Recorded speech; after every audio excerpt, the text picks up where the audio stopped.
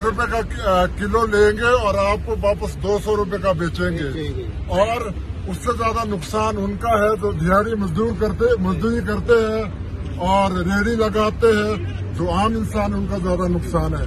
तो सभी लोगों को से मैं बेनती करता हूँ कि किसान के साथ खड़े हो मुंडे से मुंडे लगा के और ताकि मतलब सरकार को मजबूर होना पड़े एक किसान की मांग मानने के लिए।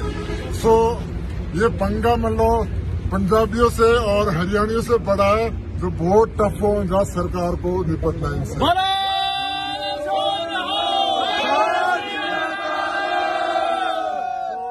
अभी सभी लोग ये पूरा जत्था छह महीने का राशन लेके जा रहे हैं।